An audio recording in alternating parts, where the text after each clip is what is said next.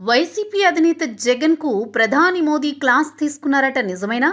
రాజకీయాల గురించో అభివృద్ధి లేదేంటనూ కాదట. సొంత చెల్లి మీద కనీసం కనికరం లేకపోతే ఎలా? అంటూ మోదీ జగన్కు పెద్ద క్లాస్ పీకారని తెలిసింది.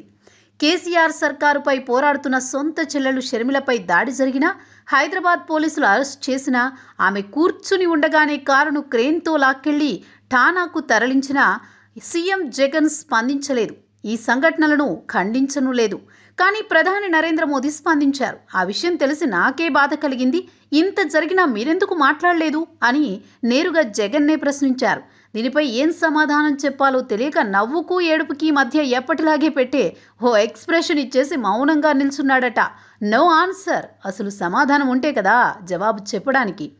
తమ్ముడు తమ్ముడే పేకాట పేకాటే అన్నట్లు జగన్ షర్మిలకు జరిగిన అవమానంపై నోరు మెదపలేదు. మరి సొంతింటి హోమ్ మినిస్టర్ ఆదేశాలు నోరెత్తితే కేసీఆర్ కన్నెర్ర చేస్తాడని భయమో తెలియదు కానీ సొంత చెల్లికి ఎదురైన గడ్డు పరిస్థితుల గురించి కనీసం వాకపు చేయకపోవడం విమర్శలకు దారితీస్తోంది.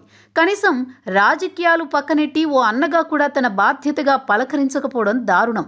అందుకే ఈయనగారి శాడిజం తాలూకా ప్రతిభ హస్తిన వరకు ఎగబాకింది. ప్రధానినే కదిపి కుదిపేసింది. రాజకీయాల కోసం సొంత చెల్లిని నువ్వు పట్టించుకోకపోయినా నేను ఓ ఆడకూతురికి జరిగిన అన్యాయం గురించి అడిగి తెలుసుకుంటా అనుకున్నారేమో మోదీ. షర్మిలకు ఫోన్ చేసి పది నిమిషాలు మాట్లాడారు. సంఘటన పూర్వాపరాలు తెలుసుకున్నారు.